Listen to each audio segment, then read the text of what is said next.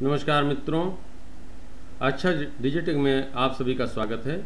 आज की वीडियो में हम सीखेंगे कि एक्सेल में फार्मूलों की मदद से स्टूडेंट रिज़ल्ट शीट कम समय में कैसे तैयार कर सकते हैं। चलिए, अब हम अपना वीडियो शुरू करते हैं। सबसे पहले हम एक्सेल शीट खोलते हैं। इससे पहले हमारे पास एक, पहले से डाटा बना हुआ है, एक डमी शीट मैंने बना रखा है। इसमें कुछ नाम भी लिखे हुए हैं, डमी मार्क्स भी चढ़े हुए हैं। इसी तरह की शीट हम कैसे बनाएँगे? डाटा शीट में आप देख रहे हैं कि ऊपर दो लाइनें खाली हैं। खाली नहीं, बल्कि उनका नाम लिखा हुआ है और नीचे क्लास और सेक्शन है। इसके बाद नई डाटा शीट में हम दो लाइन छोड़ देंगे। ये दो लाइनों को छोड़ देंगे। और पहले कॉलम में रोल नंबर, दूसरे में स्टूडेंट नेम, तीसरे में डीओबी अगले में एड्रेस हो सकता है। आप एड्रेस डाल सकते हैं। या जितनी भी आवश्यकता हो, रिक्वायरमेंट हो, उसके हिसाब से हम अपना डाटा फिट कर लेंगे। उसके बाद सब्जेक्ट का नंबर आता है, सब्जेक्ट्स। सब्जेक्ट्स में पाँच सब्जेक्ट कहीं होते हैं, हाई स्कूल में छः सब्जेक्ट होते हैं। लेकिन हमने पाँच सब्जेक्ट का बना रखा है, उसके बाद टोटल है, फिर परसेंटेज है, फिर रिज़ल्ट है, फिर ग्रेड है। इसी तरह से हम नई सीट तैयार करेंगे, इसलिए हम न्यू में आते हैं, और यहाँ पर एक ब्लैंक वर्कशीट है, हम इसे क्रिएट कर देते हैं। दो लाइन हमने यहाँ पर छोड़ दिया है, फिर इसमें रोल नंबर रोल नंबर। इसके बाद स्टूडेंट्स नेम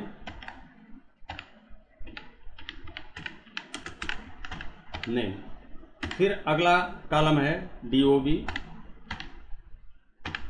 उसके बाद अगला कॉलम है।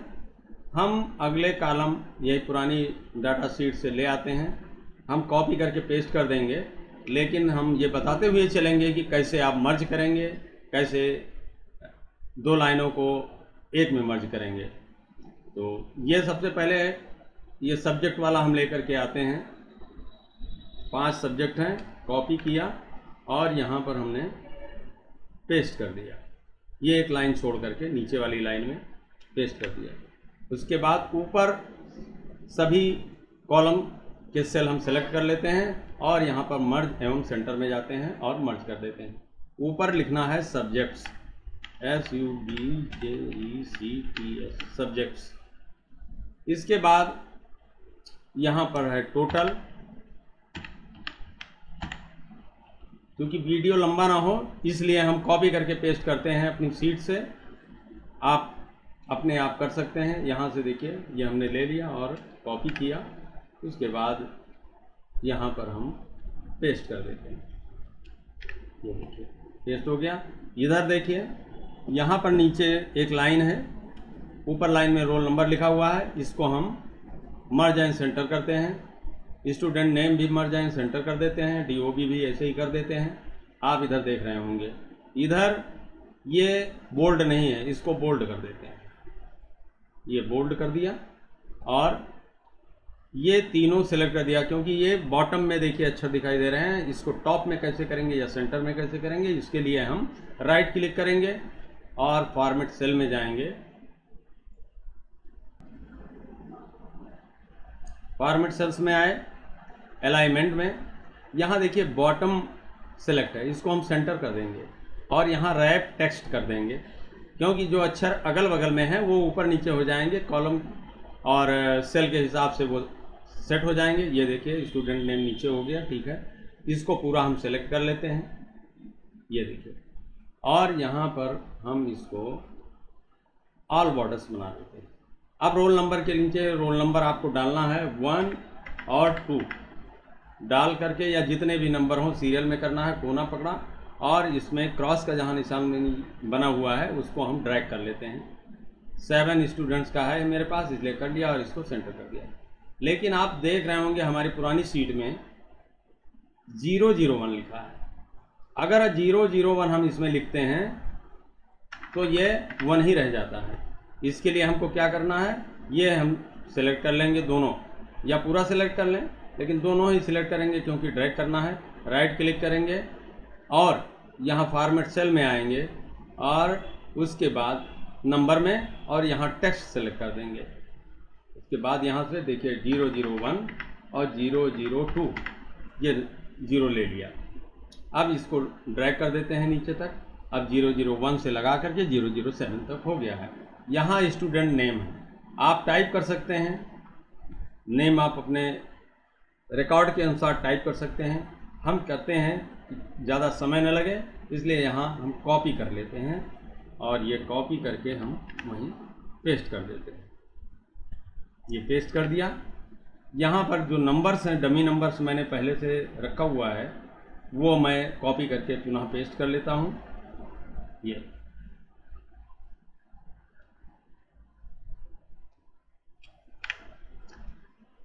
देखिए पेस्ट हो गया। आप देख रहे हैं कि हमारे में कॉलम नंबर पड़ा हुआ है। मैंने कॉलम नंबर इसमें नहीं डाल रखा है। अगर आपको डालना है कॉलम नंबर यहाँ क्लिक कीजिए और राइट क्लिक कीजिए और इंसर्ट में जाइए। उसके बाद इंटायर रो और आप इंसर्ट कर दिए देखिए हो गया। उसके बाद कॉलम का हम नंबर दे देते हैं one two three one two ये हम इसको ड्रैग करके यहाँ तक ले आते हैं, ये हो गया। अब पूरा हम सेलेक्ट करके और यहाँ पर ऑल बॉर्डर्स बना देते हैं, ये बन गया। ये देख रहे हैं कि आपके सामने ये पूरा फॉर्मेट तैयार हो गया है। अब टोटल पे जाते हैं। हम टोटल कैसे करते हैं? टोटल करने का दो तरीका है। या तो ऑटो सम कीजिए, या तो फार्मूला लगा दीजिए। हम इसमें ऑटो सम का ही प्रयोग करते हैं। हम यहाँ से जहाँ से टोटल करना है, उससे, को सेलेक्ट करेंगे।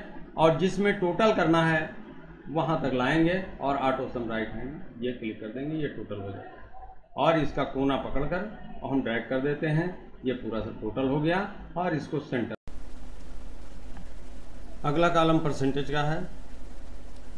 हम टोटल पे आते हैं, जितने भी सब्जेक्ट हैं फाइव सब्जेक्ट हैं, ये हमने माना है कि थ्रू आउट हंड्रेड में ये मार्क्स ओपन किए गए हैं।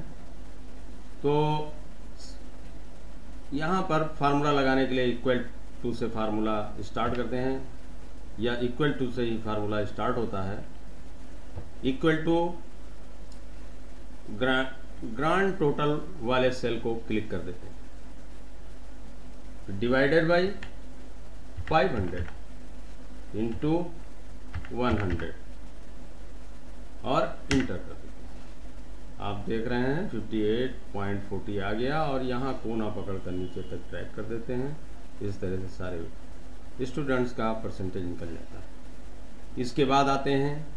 अगला कॉलम रिज़ल्ट का है। रिज़ल्ट में ये देखना है कि कौन पास है, कौन फेल है। इसके लिए भी फार्मूला लगाएँगे। और फार्मूला में लगाने से पहले ये निर्धारित तो करना पड़ेगा कि कितने परसेंट तक हम पास रखेंगे, कितने परसेंट से नीचे होंगे तो फेल होंगे। हम ये मान के चलते हैं कि थर्टी थ्री परसेंट एंड एब are passed thirty three percent होता है one six five it means 164 से नीचे पाने वाले बच्चे फेल होंगे। तो इसके लिए फार्मूला देखिए। इक्वल टू इफ़ और स्मॉल ब्रैकेट टोटल वाले सेल को क्लिक करते हैं। यानी 164 या उससे कम तो smaller than equal to one six four comma लगाएँगे इन्वर्टेड कामा और लिख देंगे फेल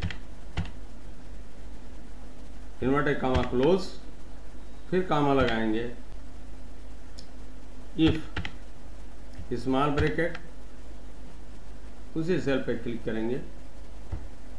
और greater than equal to one six five comma inverted comma यहाँ पर P A double S pass दोनों ब्रैकेट क्लोज कर देंगे। फिर पास इंटर कर देंगे। ये पास लिख गया। इसको कोना पकड़ के ट्रैक कर देंगे। आप देख रहे हैं, जो 33 परसेंट एंड अब पाए हुए हैं, वो पास हैं, बाकी फेल अगला कॉलम आता है ग्रेड का। ग्रेड निर्धारण करेंगे। हम ग्रेड में फ़र्स्ट सेकेंड थर्ड ये देखते हैं। उस पर भी अंकों का निर्धारण होगा। First division 60 percent second division 45 percent और थर्ड डिवीज़न 33 परसेंट हम अब फार्मूला लगाते हैं। Equal to if small bracket वही टोटल वाले सेल को क्लिक करेंगे। और स्मॉलर दें वन सिक्स फोर कामा लगाएँगे इन्वर्टेड कामा चूँकि 33 परसेंट से जो कम पाया हुआ है, उसका कोई ग्रेड नहीं होगा, इसलिए हम यहाँ डैश लगा देते हैं और क्लोज कर देते हैं कामा फिर कामा लगाएँगे if small bracket cell address उसके बाद हम smaller than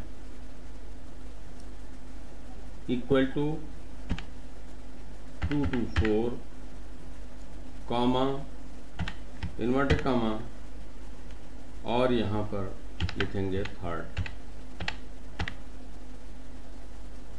inverted comma close comma if small bracket cell address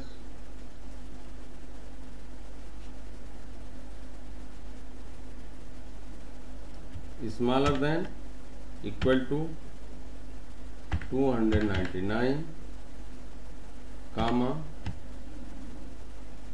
inverted comma यहाँ पर second